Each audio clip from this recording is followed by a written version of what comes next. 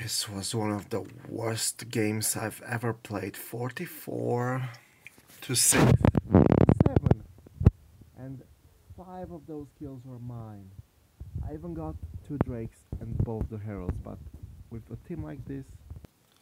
Whatever, can't do shit. Cum pula mea să fidez atât de tare? What the fuck is this shit?